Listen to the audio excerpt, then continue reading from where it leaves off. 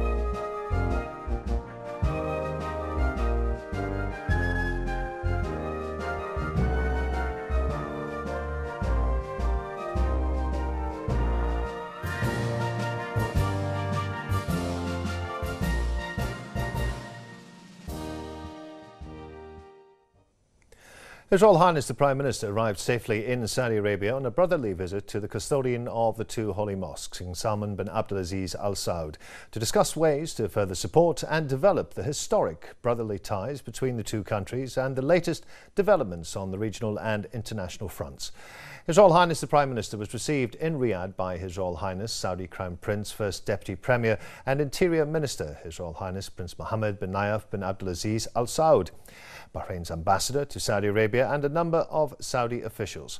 His Royal Highness the Prime Minister delivered a statement in which he said that the historic bilateral ties will be developed and reinforced due to the support of His Majesty King Hamad bin Isa Al Khalifa and the custodian of the two holy mosques, King Salman bin Abdulaziz Al Saud, stressing that Bahrain and its people will always recall with appreciation Saudi's honourable stances with Bahrain. His Royal Highness the Prime Minister hailed the efforts of the custodian of the two holy mosques in uniting Arabs and Muslims to face all the challenges that target the region. He also commended the Arab Coalition initiative that stands against foreign interventions that target legitimacy in Arab countries, adding that the Kingdom of Saudi Arabia has and will always support Arabs and Muslims. His Royal Highness the Premier also highlighted the role of Saudi Arabia in developing the march of the GCC, affirming His Royal Highness's certainty in the custodian of the two holy mosques and the leaders of the GCC's ability to protect the Gulf entity. His Royal Highness expressed wishes of further prosperity and success to Saudi Arabia under the wise leadership of the custodian of the two holy mosques. His Royal Highness the Saudi Crown Prince, First Deputy Premier and Interior Minister, and His Royal Highness the Deputy Crown Prince, Second Deputy Prime Minister and Defence Minister, Prince Mohammed bin Abdulaziz Al Saud. His Royal Highness the Prime Minister, Prince Khalifa bin Salman Al Khalifa, departed from the Kingdom of Saudi Arabia after meeting with the custodian of the two holy mosques, King Salman bin Abdulaziz Al Saud. The meeting included discussions on topics regarding regional and international affairs, in addition to ways of bolstering the deep existing, deep-rooted bilateral relations. His Royal Highness was seen off by His Royal Highness the Saudi Crown Prince, First Deputy Premier and Interior Minister Prince Mohammed bin Nayef bin Abdulaziz Al Saud, Bahrain's ambassador to Saudi Arabia, and a number of Saudi officials.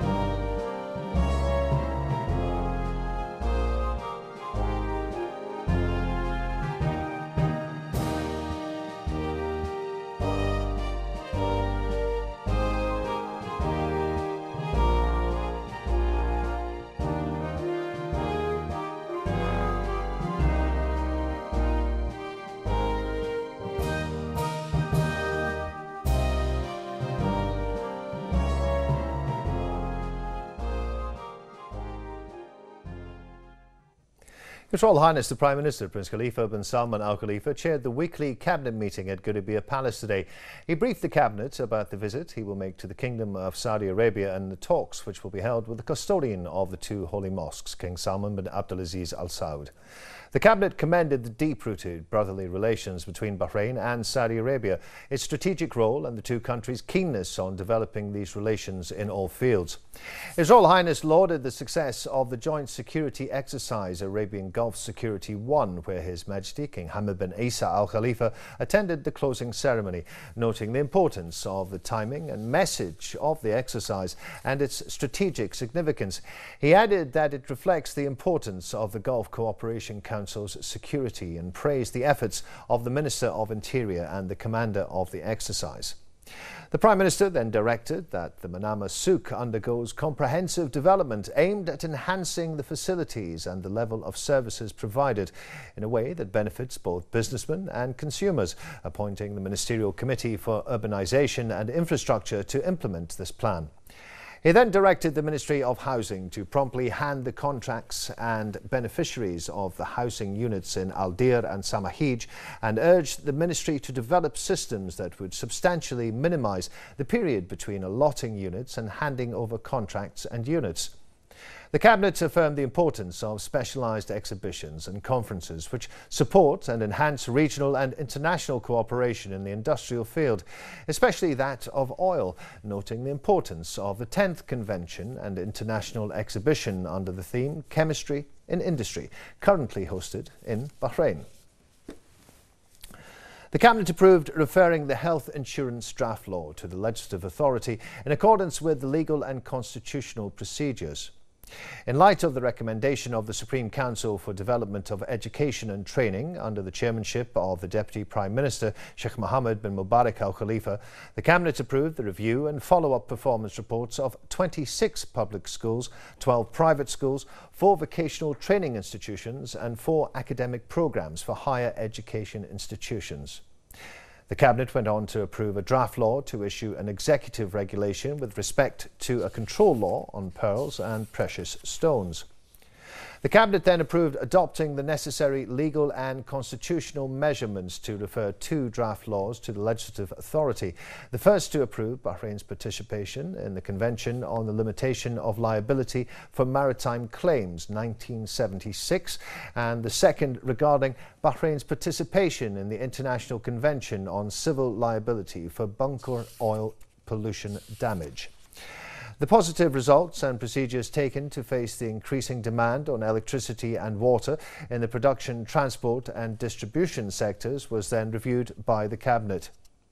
A number of proposals were reviewed by the Cabinet regarding employing Bahrainis who are on part-time contracts as full-time employees in municipalities and municipal councils and sending diplomatic missions to countries that do not currently have Bahraini diplomatic representation.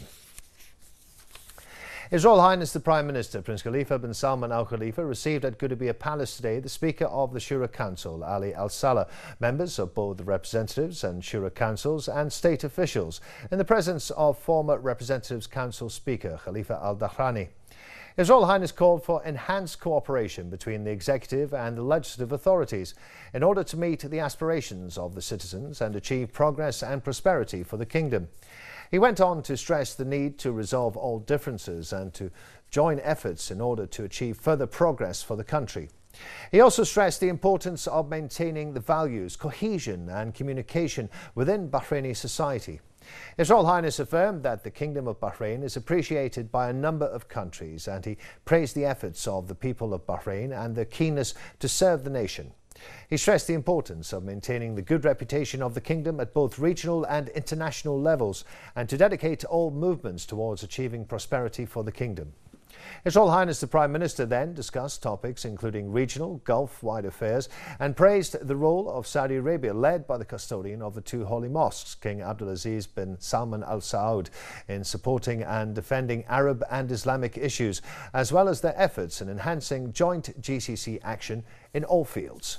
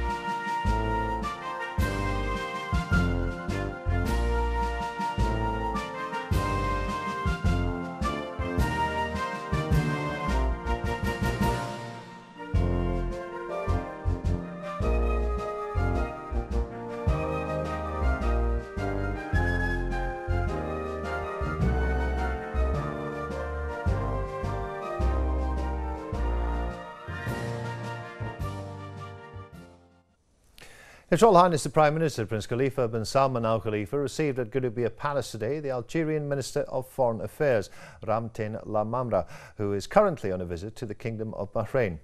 During the meeting, His Royal Highness the Prime Minister welcomed the visit of the Algerian Foreign Affairs Minister, expressing his aspirations that such a visit will promote a framework for further cooperation and coordination between the two countries, achieving various aspects of mutual interest.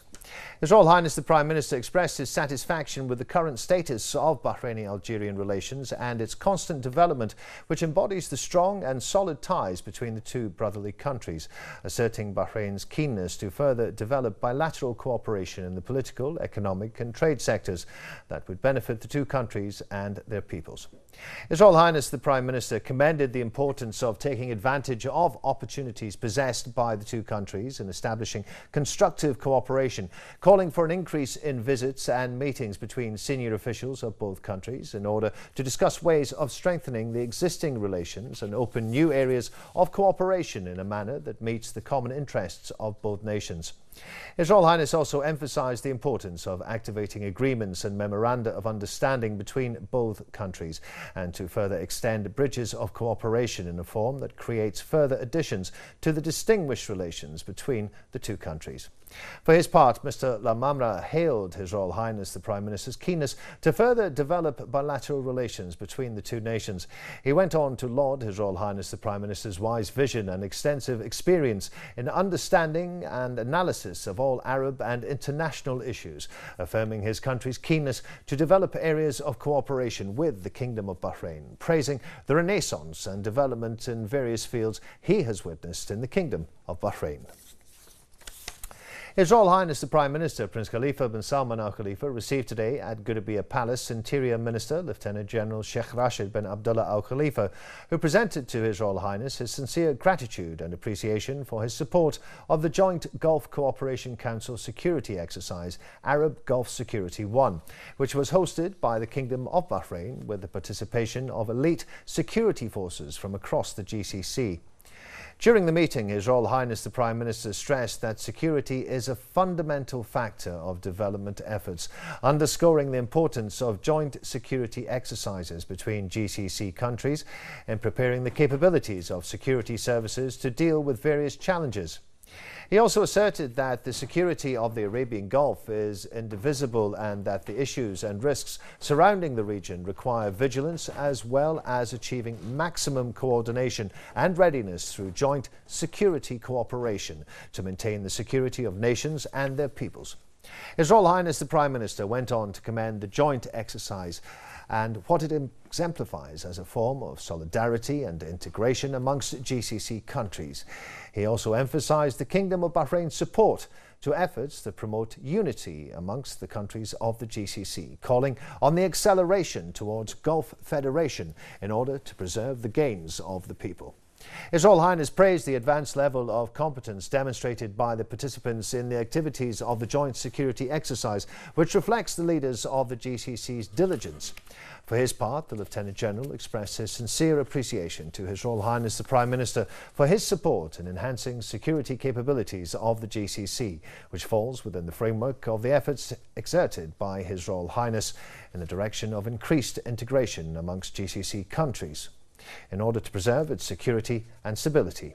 He also praised the wise guidance and ongoing support of His Royal Highness the Prime Minister and the Ministry of Interior and all its members in upholding their responsibilities in maintaining national security and stability. Her Royal Highness, wife of His Majesty King Hamad bin Isa Al Khalifa and President of the Supreme Council for Women, Princess Sabika bint Ibrahim Al Khalifa, expressed her thanks and appreciation to His Majesty for his directive of allotting a building for family courts, which will take into account the privacy of legitimate family issues and speed up their procedures. The directive affirms His Majesty's interest in Bahraini families in preserving their privacy and enhancing their stability. Her Royal Highness expressed pleasure in His Majesty's command, which came in support of the recommendations of the Third National Conference of Bahraini Women. She said that based on the directive, the judicial field will become one of the eligible aspects that will settle family issues through activating the role of reconciliation and guidance away from the courts. She also hailed the role of the judicial organisation in the kingdom in following up the implementation of justice to the interests of all members of the Bahraini family, expressing hope that this step will contribute to reducing marital disputes and divorce rates. She also stated that establishing a separate building for family courts should be considered a national achievement, affirming that His Majesty's directive will enhance the Supreme Council for Women's responsibility of implementing its role in empowering women and improving the stability of Bahraini families.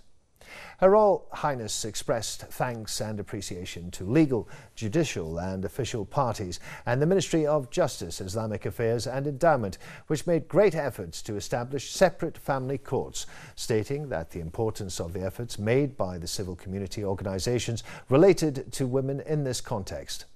She affirmed that the Council will continue to support the work of all partners in the preservation of the status of the Bahraini family, hoping that the family courts will include all its needs in judicial and administrative experiences and will protect its rights and contribute to enhancing social stability within the kingdom.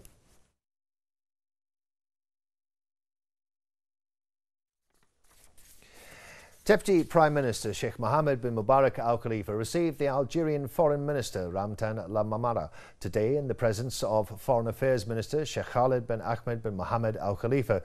During the meeting, the Deputy Prime Minister lauded the level of existing bilateral ties in various fields, affirming the importance of pushing and boosting these ties in order to serve the interests of both countries and their peoples. They also discussed issues of shared concern, in addition to an exchange of views on the various challenges currently facing the Arab nation, as well as immediate regional and international developments.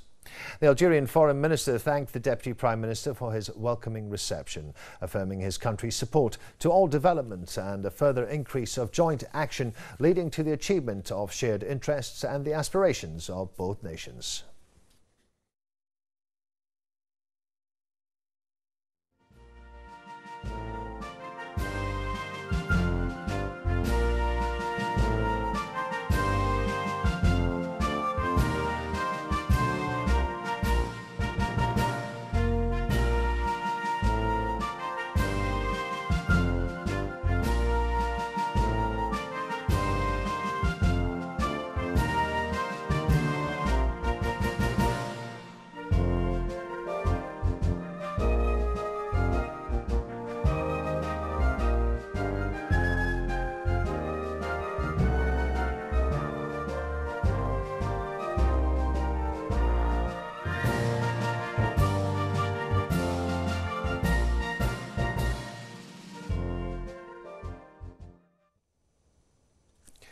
His Royal Highness the Prime Minister Prince Khalifa bin Salman Al Khalifa deputised today Sheikh Khalifa bin Al Khalifa to attend the reception ceremony held by Oman's ambassador to Bahrain, Abdullah bin Rashid Al Medloui, marking his country's National Day.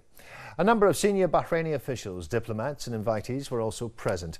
Sheikh Khalifa bin Ali conveyed the greetings of His Royal Highness the Prime Minister to Oman's leadership and people, wishing Oman further progress and prosperity. He asserted the kingdom's keenness on boosting cooperation in various fields, which reflects the existing deep-rooted Bahraini-Omani relations. He also pointed to the developing bilateral ties on all levels. For his part, the Omani ambassador expressed thanks and appreciation to His Royal Highness the Prime Minister for his keenness on further developing bilateral relations. He also lauded the solid relations linking the two brotherly countries and their peoples, wishing Bahrain further progress and prosperity. On behalf of His Royal Highness the Prime Minister Prince Khalifa bin Salman Al Khalifa, the Deputy Prime Minister Sheikh Khalid bin Abdullah Al Khalifa inaugurated today the 10th Convention and International Exhibition under the theme Chemistry in Industry, held at the Gulf Hotel and organised by the Chemical Science Division of Dhahran under the American Chemical Society and in cooperation with the National Oil and Gas Authority. Sheikh Khalid bin Abdullah expressed thanks and appreciation to His Royal Highness the Prime Minister for patronising this prominent event at both Middle East and global levels, which has a profound impact on the success of this event held for the 10th time in the Kingdom of Bahrain. He praised the organising committee for choosing Bahrain as a venue for this convention, which reflects the Kingdom's ability to organise conferences and exhibitions of international and global levels. The Deputy Prime Minister affirmed that this convention helps exchange ideas about various topics in the field of chemistry and engineering that are related to petroleum and petrochemical industries. He noted that the convention will focus on the connection between oil refineries and the petrochemical industry, the increase in demand on the chemical industry, and prompting the industrial companies to make use of the available modern technologies to enhance their production and preserve the environment. The convention was attended by 400 participants, including senior executives and leaders in oil, petrochemical and manufacturing companies, and specialists from Bahrain, Saudi Arabia and other local and foreign parties. The Minister of Oil, Sheikh Mohammed bin Khalifa Al Khalifa, delivered a speech in which he expressed appreciation to His Royal Highness the Prime Minister for patronising this event. He also expressed thanks to Sheikh Khalid bin Abdullah for inaugurating the exhibition. Minister of Oil stated in his speech that sustainability in the power sector is considered a main topic that is receiving more attention considering the current unpredictable oil prices. The head of the conference, engineer Ahmed Al Kawater, gave a speech in which he expressed thanks and appreciation to His Royal Highness for patronising this event, highlighting the support that the government gives to these conferences since their launch. Sheikh Khalid bin Abdullah Al Khalifa inaugurated the accompanying exhibition and met with a number of senior officials from participating international companies, including Saudi Aramco, Saudi Pan Kingdom Company, that's SAPAC, Bahrain Petroleum Company, BAPCO, King Abdullah City for Science and Technology, and Saudi Council of Engineers.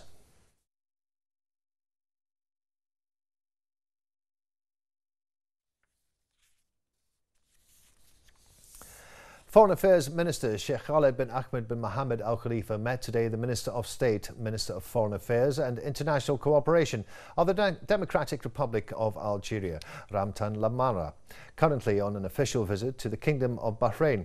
Sheikh Khalid bin Ahmed praised the outstanding bilateral relations between the Kingdom of Bahrain and the Democratic Republic of Algeria and its constant development and prosperity in various fields. He also reconfirmed the Kingdom's commitment to further develop these bilateral ties to reach new heights in order to achieve joint goals and aspirations on which will benefit the two nations and their people. Minister Lamamra expressed pleasure in visiting the Kingdom of Bahrain, which he said is part of the continuous efforts by the two nations to diversify fields of cooperation and enhance coordination in relation to different issues.